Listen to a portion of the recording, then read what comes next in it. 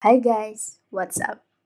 In this video, I'm going to show you how to create animation drop-down menu prototyping in Figma. So let's jump straight into Figma and get started.